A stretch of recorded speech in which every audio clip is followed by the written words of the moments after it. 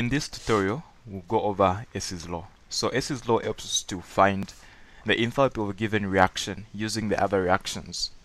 Okay, so let's get started.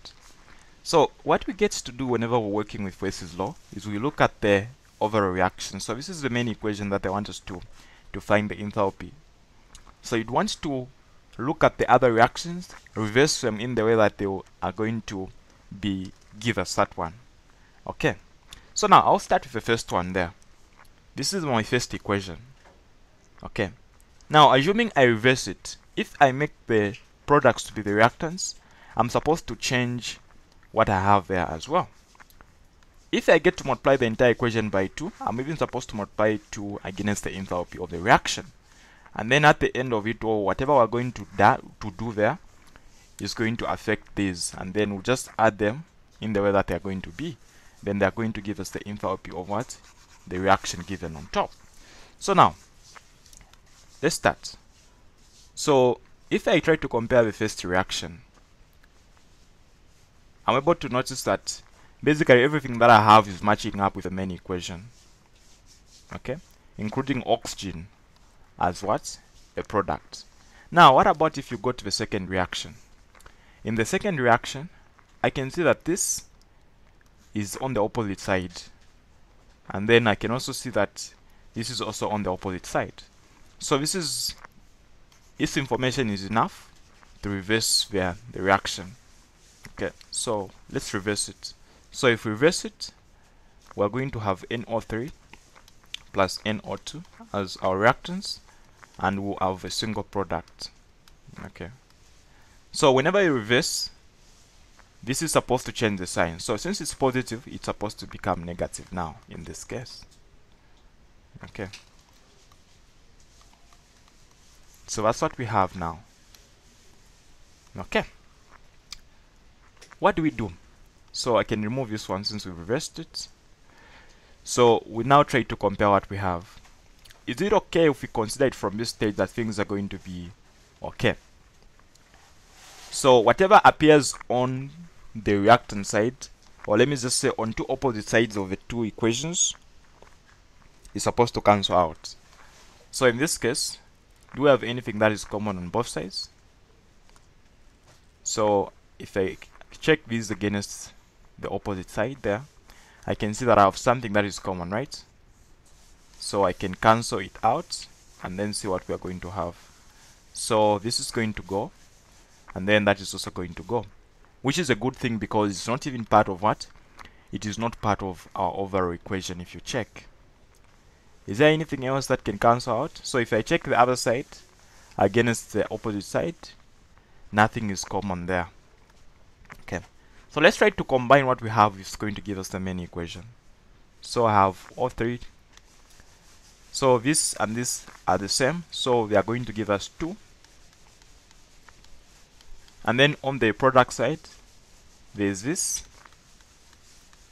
and then there's also oxygen there. So now the question is if you compare what you have as your final equation is it matching up with a given equation? Yes it's matching up. So what you just get to do is add what has, re has remained as your enthalpy for the two reactions. So in this case we have 10.1 and then negative 48.3 so that is what you're supposed to to do so we'll say 10.1 kilojoules plus negative 48.3 kilojoules.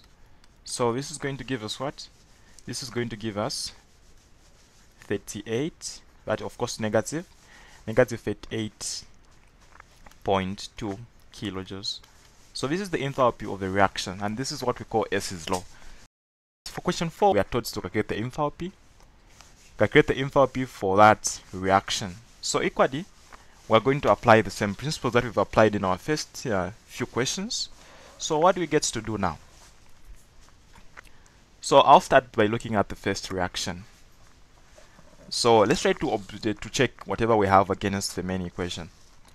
So this is on the same side. The oxygen is at least there as well.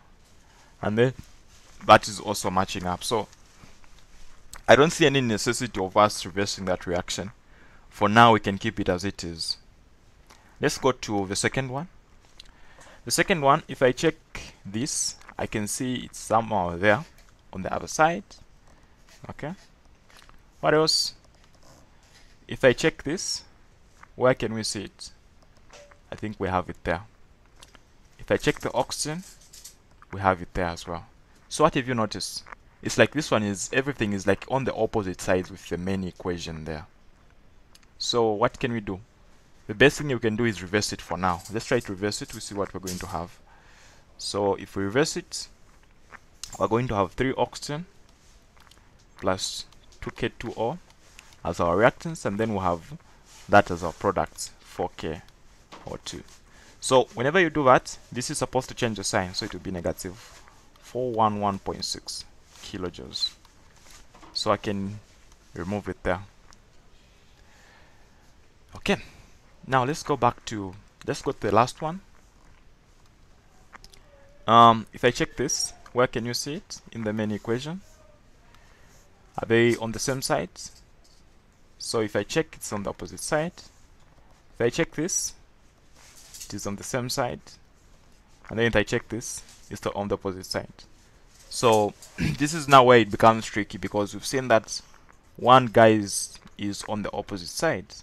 Two of, of two of course are on the opposite side. This is on the other side. So that is not justification enough because we've looked at different equations. So what do we get to do in this in this case? So what we've noticed is in one of the reactions we have what? We had oxygen there three oxygen molecules in the second one that we've reversed which is already matching up with what we have there so which implies that it is unnecessary for us to have that oxygen there so we want to get to a point where we can cancel it so if we are to cancel it then this is supposed to remain so that we use it to cancel now cancelling it is not going to be possible in the way it is now. Why? Because what we've noticed is there we have half oxygen. Okay, we have half oxygen. But then, what happens in terms of adding what we have then in this case? If you check there, how much of us we have? We have four of them, and there we just have a single one. And then in the other reaction where we can add it, we just have two. So we would need to have two again in the first reaction. So this is this tells us to say that what we can do at this point is multiply the first one by a 2 double everything by a 2 so this is what you're going to have. We have 2k2 let me use a different carrier. So I have 2k2 or so when you multiply the half by 2 it is just going to be O2 and then the other side you have 2k so I said whatever you do to the reaction is supposed to be done to the enthalpy. So the same is going to be done to, to our enthalpy in this case. Okay, so you've done, you are done with your first equation there. We've, uh, we've done something to it. And now let's try to use what we have now to say if it's going to if it's going to work out. Any things things that are necessary that are on opposite sides. So if I check this, is it anywhere else? so it's not there it's not there so not cancel it how about if I try to check the products oxygen so I can see oxygen there. Can cancel with the other opposite reaction.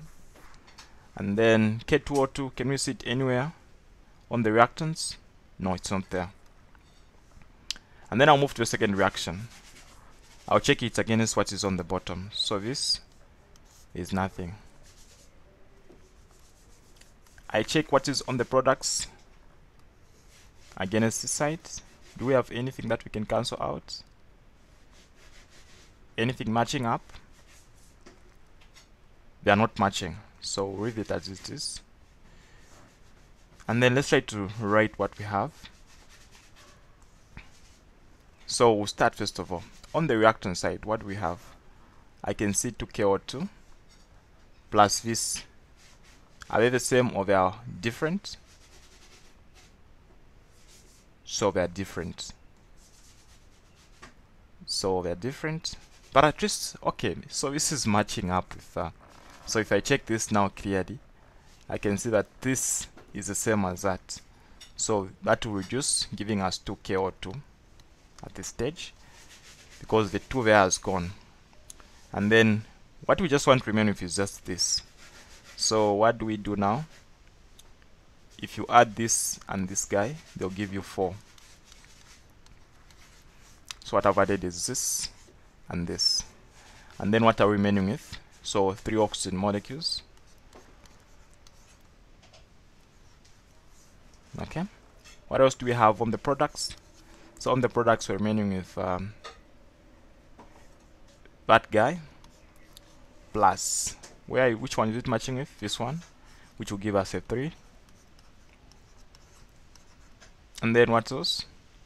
Um, we're now remaining with that guy 2KO2 so this now matches up with uh, the equation that we we have as our main equation.